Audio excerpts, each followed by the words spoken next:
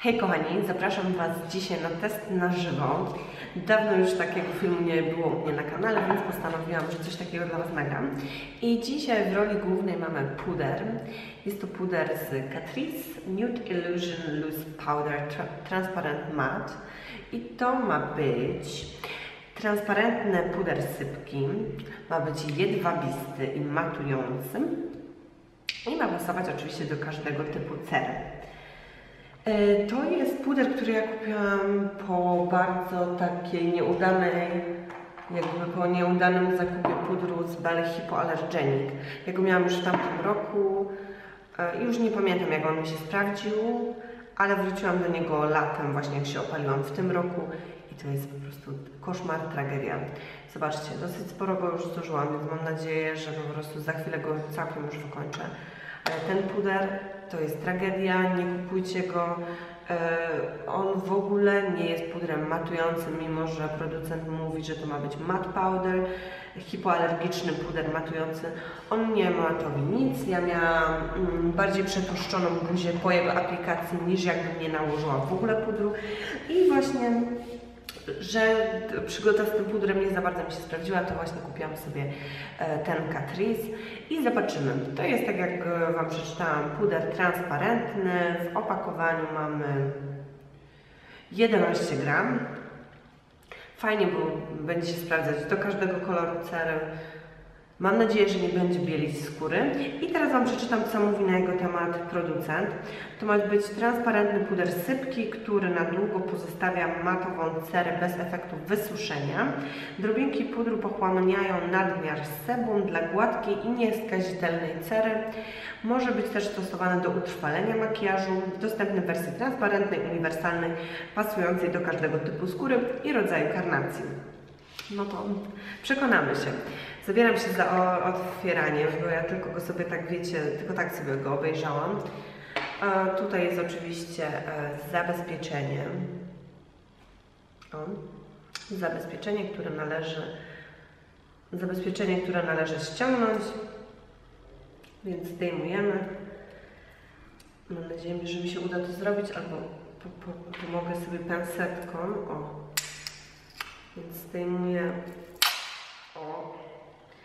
Zdejmuję tutaj tą, to zabezpieczenie z tego pudru. No i widzicie, tutaj mamy tradycyjny puder. O, tak to wygląda. Tradycyjne opakowanie, jak w większości, albo chyba przy wszystkich pudrach tego typu transparentnych. Wezmę sobie pędzelek i dzisiaj będę używać e, Bobbi Brown do pudru. I zamykam to opakowanie, odwracam sobie, trochę sobie stuknę, żeby puder był na wieczku i tak będę go aplikować. Ok. No to przechodzę do, do roboty, zobaczymy jak on się sprawdzi.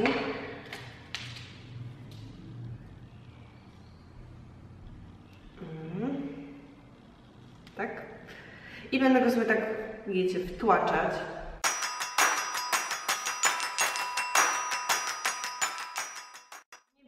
To jest pierwsza rzecz, którą już po nim widzę, że nie bieli, więc to jest plus.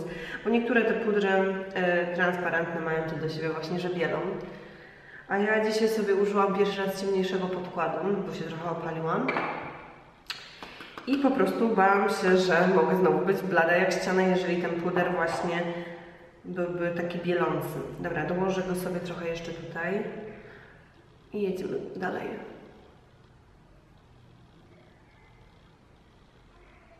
Ok, puder nałożony i moje takie pierwsze wrażenie to to właśnie, że jest bardzo przyjemny, jeśli chodzi o kolor. W sensie bardzo ładnie się robi, rzeczywiście przeźroczysty, nie bieli skóry. E, Druga sprawa to aplikacja. On jest taki bardzo taką przyjemną strukturę ma. On nie jest taki tępy, pudrowy, tylko właśnie taki bardziej, mm, jakby to powiedzieć, taki satynowy może troszkę, w sensie bardzo ładnie się aplikuje, nie daje jakiegoś efektu maski na buzi, więc to jest, to jest dla mnie po prostu bardzo, bardzo ważne. Ja nie lubię ani podkładów, ani pudrów dając taki totalny, tępy mat. Ten mat jest taki bardzo przyjemny, powiedziałabym. Na razie to naprawdę bardzo ładnie, bardzo ładnie wygląda. Mam nadzieję, że to będzie wszystko tutaj dobrze widać w tym świetle. Czekajcie, troszkę może przyciemnię obraz. Mhm. Jest bardziej przy ciemnym świetle może to będzie bardziej widać. O. Jeszcze się trochę do Was przybliżę. Mhm. Tak? O, możecie zobaczyć, jak on wy wygląda. Oczywiście nie mam w ogóle wkonturowanej twarzy, to jest logiczne, żeby właśnie um, od razu, pierwsze co nałożyć puder, mam tylko podkład i oczywiście korektor, tak jak zawsze. Mhm. Jest godzina 11.27, nie mam telefonu, pokazałabym Wam na telefonie, ale nie mam. Jest 11.27. E, ja wychodzę na przypuszczam bardzo, bardzo długo, więc dopiero odezwę się do Was wieczorem i zobaczymy jak ten puder będzie wyglądać po całym dniu, ale jeszcze sobie tylko, tak jak zawsze, dołożę może troszkę różu, żeby wiadomo, ten makijaż był taki jak na dzień. Nie ma co mu też ułatwiać, wiecie, zadania albo jakiegoś kroku nie, nie, nie nakładać, bo nie wiem, test będzie niemiarodajny.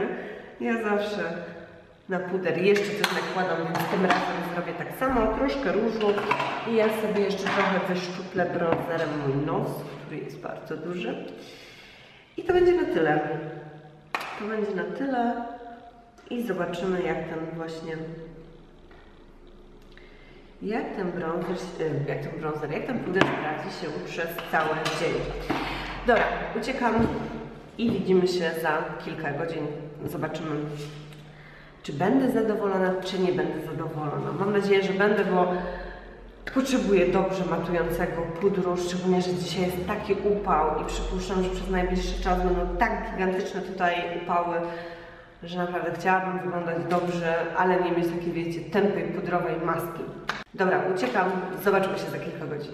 Wracam do Was z podsumowaniem e, tego pudru transparentnego, e, matującego.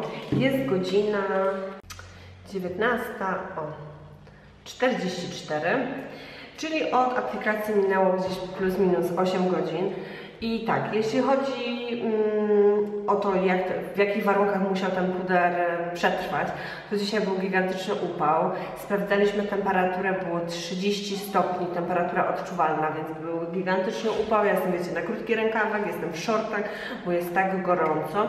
Teraz już wiadomo, e, słońce gdzieś tam zachodzi, więc aż tak gorąco nie ma, ale powiem Wam, naprawdę był upał, więc e, puder miał po prostu e, taki, powiem, ciężki bój. I wydaje mi się, jak tak patrzyłam e, w ciągu dnia, że całkiem fajnie się sprawdził, ale już tak, biorę sobie lusterko i Wam mówię co i jak. Jeśli chodzi o, o moją twarz, hmm. powiem Wam tak, jeśli chodzi o, o ogólnie, o, ca o, całą moją twarz, to powiem Wam szczerze, że jest całkiem, całkiem w porządku. Moja twarz się troszkę błyszczy, błyszczy się na czole, nie wiem czy to na filmie widać, ale błyszczy się na czole, na nosie, yy, troszkę tutaj, gdzie mam rozszerzone pory na policzkach i tutaj na brodzie, ale tylko od tego punktu, o, tylko tutaj, tylko tutaj, sam ten czubek jakby brody. Natomiast od jakby różu w dół cała buzia jest dalej matowa. Więc no powiem Wam, ogólnie mi się efekt na buzi podoba, bo to jest takie naturalnie się ta buzia błyszczy, ale to nie jest takie bardzo, bardzo mocne błyszczenie się. Wydaje mi się, że cera naprawdę całkiem w porządku wygląda. Jak na taką temperaturę, jak na to, że cały dzień lataliśmy, byliśmy na zakupach spożywczych, na spacerze, oglądaliśmy meble, no robiliśmy mnóstwo dzisiaj rzeczy, to jak na tyle godzin naprawdę wydaje mi się, że moja buzia wygląda całkiem fajnie. E, przeglądając w ciągu dnia efekt właśnie jaki ten puder daje, to powiem Wam, że mat się utrzymywał naprawdę bardzo długo. Powiedziałabym tak z 5 godzin, naprawdę buzia była w idealnym stanie, a teraz wydaje mi się, że naprawdę wygląda całkiem, całkiem w porządku. Jeśli chodzi o moją cerę, ja mam cerę mieszaną, więc dla mnie to było normalne, że po jakimś czasie w strefie T będzie się moja twarz świecić, ale to jest w porównaniu właśnie z tym pudrem, o którym Wam mówiłam wcześniej, ten Bell Hypoallergenic, jest po prostu niebo a ziemia. To rzeczywiście bardzo ładnie przez cały dzień matowiło moją twarz, natomiast tu przy tym miałam jeszcze większe błyszczenie twarzy, niż jakbym tego pudru nie nałożyła, więc to jest totalny bubel. Natomiast jak na moje pierwsze wrażenie, to powiem Wam, Jestem zadowolona. Bardzo ładnie ten, ten puder wygląda. Nie dał takiej bardzo matowej, pudrowej maski. E, dał właśnie taki bardzo ładny, naturalny efekt. Rzeczywiście z tą buzię zmatowił. Utrzymał się bardzo, bardzo długo na twarzy.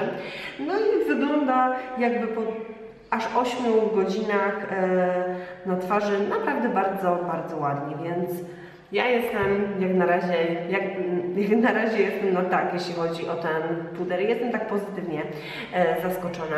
Spróbuję Wam jeszcze przybliżyć pokazać może cerę z bliska. O, teraz wyjdą wszystkie moje jakieś takie niedoskonałości cery, ale tak on, tak on wygląda. O, teraz jak widzicie odwracam głowę, to softbox wydaje mi się fajnie oddaje to, że tu się właśnie cera świeci, natomiast tutaj naprawdę ładny mat. Więc ja jestem, e, powiem Wam szczerze, pod wrażeniem tego pudru. Całkiem ładnie, naprawdę przez cały dzień się utrzymał na mojej twarzy. Ten e e delikatny efekt błyszczenia spodziewałam się, że będzie, bo to jest puder drogeryjny, jest naprawdę tani, kosztował mnie koło bodajże 4-5 euro, więc w Polsce przypuszczam około 20, 20 zł jest dostępny, tak mi się wydaje, że on jest w Polsce. Dajcie znać, jeżeli się mylę, ale wydaje mi się, że jest w Polsce dostępny. Więc jak na pierwsze użycie jestem naprawdę bardzo, bardzo zadowolona, jestem wręcz pod wrażeniem, bardzo ładny dał efekt na buzi. Dajcie znać, czy używałyście tego pudru, czy macie jakiś inny puder z Catrice, który polecacie, który bym mogła przetestować. E, I właśnie bardzo jestem ciekawa, czy go używałyście, co Wy na jego temat sądzicie. Jeśli lubicie testy na żywo i mam dla Was więcej takich filmików nagrywać, to oczywiście dawajcie kciuki w górę, ewentualnie propozycje, jakie produkty chciałybyście, żebym przetestowała na sobie, jak u mnie się sprawdza. Jeżeli jeszcze nie subskrybujecie mojego kanału, to oczywiście serdecznie zapraszam do subskrypcji. Pozdrawiam Was serdecznie, widzimy się w następnym filmie. Pa, pa!